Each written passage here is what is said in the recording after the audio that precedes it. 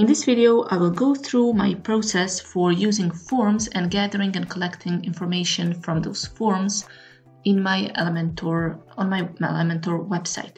So I'm using Elementor Pro, which gives me the option to use the form widget directly from Elementor.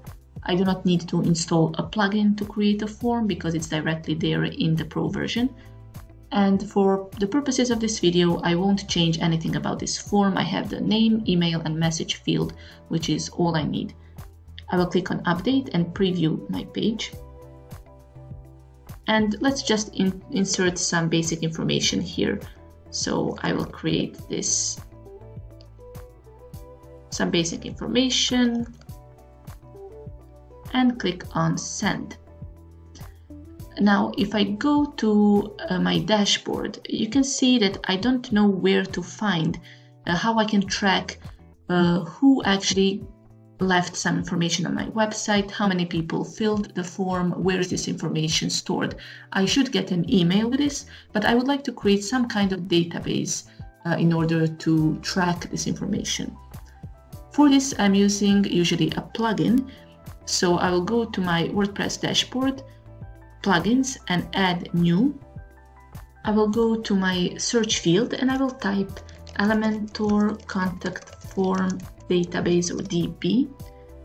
And let's see, I'm using this plugin right here by WebAce Tech Services.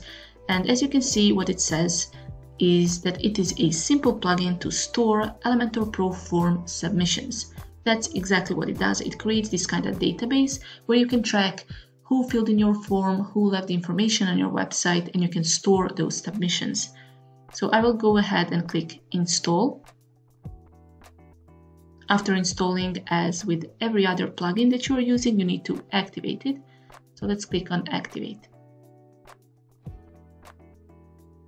And once it, it is activated, you will see that uh, this Elementor DB or Elementor database is appearing on the sidebar of your WordPress website. So if I click on it, then here I would have my submissions. Now, of course, in order to see something, let's go ahead and fill this once again. So let's say Marco, this time click on send and if I refresh my page let's see there, there it is so I have my submission right here in this list and actually if I click on it I can see if it is if I have read or uh, if I haven't read it yet uh, which page it was submitted on I can see the uh, email, form ID, and I can just view submission and all the information would appear here. So the name, email, and the message. And that's it basically. In this way, you can create this database where you can track those submissions and it makes it much easier for you to uh, follow up on these and to store this information on your website. If you like this video, feel free to like, comment or subscribe.